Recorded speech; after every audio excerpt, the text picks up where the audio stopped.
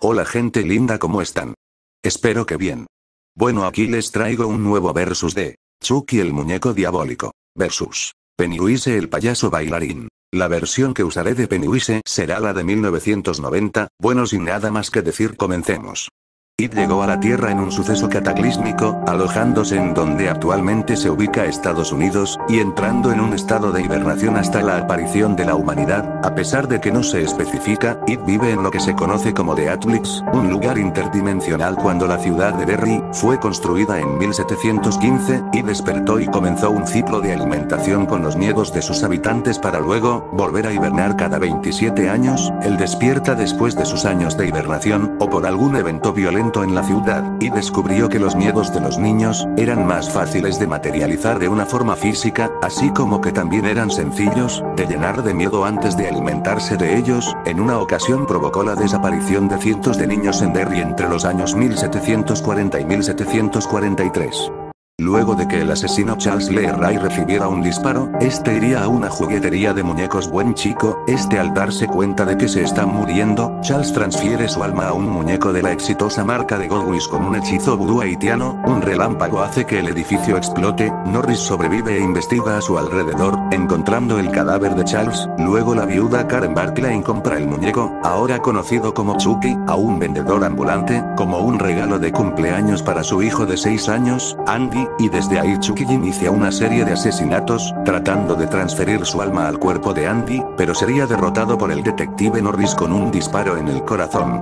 Bueno ahora comencemos con la pelea. En una noche de luna llena un niño, se encontraba siendo aterrorizado por Pennywise, el niño ve un muñeco y lo toma y se va a su casa, Chucky toma un bat y trata de noquear al niño, el niño ve a Pennywise y se va a su cuarto, Chucky noquea al niño y dice las palabras de su ritual, Pennywise entra al cuarto y ve a Chucky y lo aparta y mata al niño, maldito payaso me las vas a pagar, dando inicio el combate.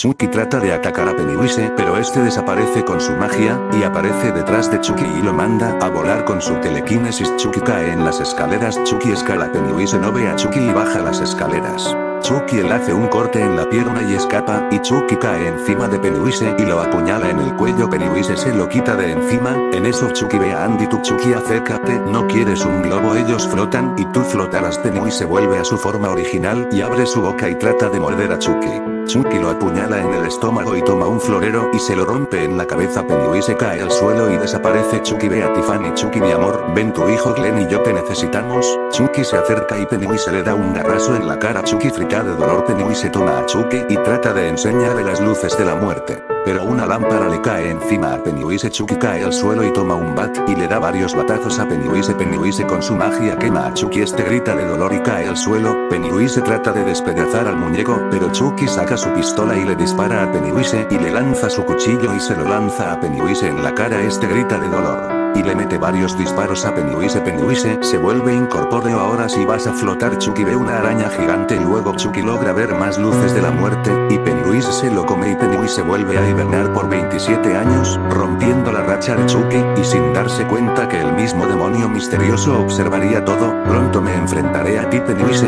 pronto estarás en mi reino. Bueno ahora les diré por qué gana Pennywise.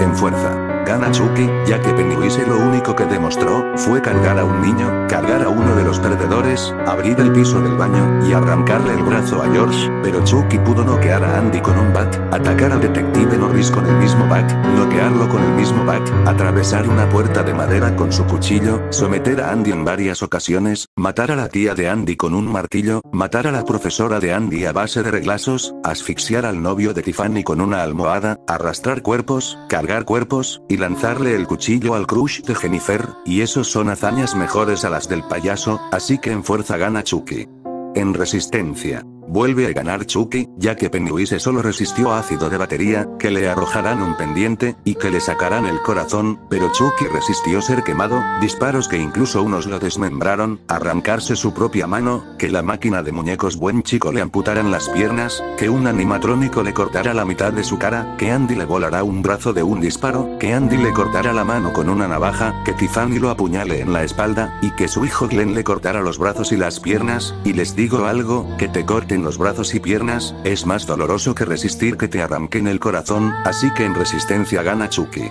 En velocidad de combate. Gana Chucky ya que este puede atacar a sus víctimas sin que reaccionen, atacar al detective Norris sin que reaccione, y pelear con Andy, y Pennywise no demostró nada. En velocidad de reacción. Gana Chucky ya que este puede esquivar e interceptar ataques, y Pennywise no demostró nada. En velocidad de desplazamiento. Es un empate porque los dos pueden correr. En inteligencia, yo le daría el punto al payaso, pero lo dejaré en empate, ya que Chucky pudo saber la dirección de Andy, supo engañar a la policía, engañar a sus víctimas haciéndose pasar por un muñeco inofensivo, saber conducir, es sigiloso, llegar a la casa de un maestro vudú en tan poco tiempo, y sabe magia vudú, y Pennywise puede atraer a niños a sus trampas mortales, sabe manipular a las personas para que hagan su trabajo sucio, sabe el miedo de sus víctimas, entre otras cosas. En Axe gana Pennywise, ya que este tiene regeneración, teletransportación, telequinesis, inmortalidad, luces de muerte, etc., y Chucky solo puede dividir su alma en múltiples cuerpos.